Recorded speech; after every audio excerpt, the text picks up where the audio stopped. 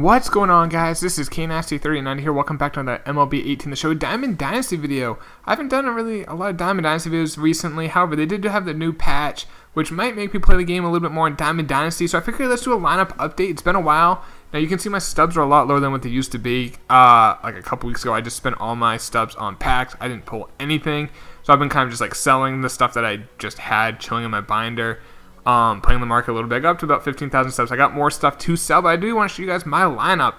As you can see, we're an 88 overall. This is team no money spent. I have not spent any money on the game. If you guys are new, basically, I got the $100 version of the game.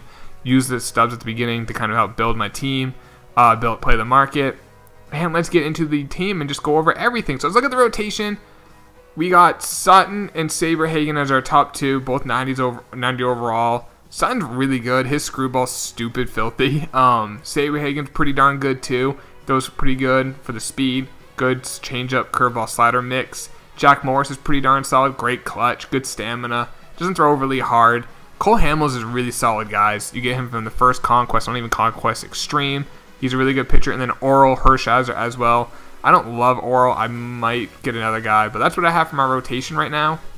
In the bullpen, my long man is the Nolan Ryan, the 83 Ryan. He has 63 stamina, so I need to gotta go a long, like a long time in the bullpen. Got him. Uh, we also have Edwin Diaz. He always has a great inside edge. and his pitches aren't great, but he does throw pretty hard, and he has a good slider. And hopefully, you can get that to get a, like a, a right-handed hitter out or two. Uh, lefty, I'm rocking with Tony Swip, Tony Sipp, the new card. I want to give him a try. Um, he has a fastball, slider, changeup, two seam. I do have the uh, 80, uh, 78 Chris Sale, which I normally use, but I do want to give this Sipp a try, see if he's any good. John Axford is another reliever right now, 83 overall. I kind of like his pitches, uh, curveball, slider, fastball, sinker mix. Lee Smith, career arc, really good card. Uh, Billy Wagner, 88 overall, immortal, damn good card, one of the best lefties in the game. And Trevor Hoffman, I just recently got him. He's filthy, guys. He's really good. If you haven't done him already, I would recommend doing him. His changeup is like no joke. The thing is ridiculous. I've never seen a changeup move as much as his in like any MLB game. It's so stupid good. And he throws hard enough where you can get away with it too. Uh, moving on to the lineup now, boys. Leading off, former Red Sox great. Hanley Ramirez, shortstop, career arc, 88 overall. Not good versus lefties, but amazing versus right-handed pitching. Batting second, Matthew Kemp, Matt Kemp, this guy's a stud. I have him in center. Batting third, I want to get a lefty in there, so I have Larry Doby. Now, he doesn't hit well against lefties, though. But the guy batting fourth does. Brian Dozier, he's a glitch, 86 overall. I have short, uh, second baseman who are better, but just like, or I will be soon. But I just love this Dozier so much. Batting fifth, Billy Williams. As you can see, a lot of these cards are just cards I've got from grinding, like career arcs or immortals or conquest or conquest extreme. That's really I built most of my most of my lineup. Billy Williams batting fifth. I might switch him in Doby. I hit better with Doby, but um, he's worse versus lefties, and Williams is a better all-around player. Chipper Jones batting six. I hit really well with really well, excuse me, with this card. Get him from the Immortal. Batting seventh in uh, career arc, Paul Molitor. Not a great power hitter. I do have Jim Edmonds, who I sometimes will use at first he just is glitchy. I kind of want him on the bench though right now. I think Molitor's really good contact. I, I just got this card, so I haven't tried him yet online. I'm hoping he has enough power to use, but with the vision and that contact, his PCS should be enormous. Uh, batting eighth from Extreme, uh, Yadier Molina. I have him mostly for defense. I really want you guys to help me out, guys, in the comments down below.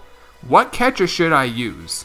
I have Molina, I have Gary Carter, and I have Mike Piazza. Now, Piazza's probably the best hitter, but the worst fielder.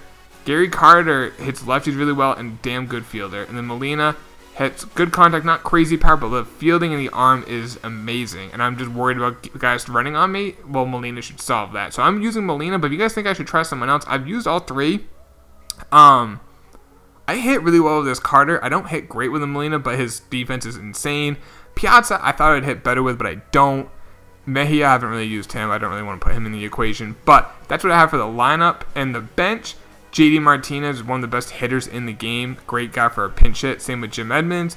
Joe Torre, I like him because he can play third, first, and catcher. Not a great card, but he's a good to like put in. Pee Wee Reese for a little bit of speed can also play short if I need a backup shortstop. And right now I have Gary Carter, but I may sub Gary Carter out because I have Joe Torre and put in a speedster. I don't know. Um, I do have a speedster. Where is he?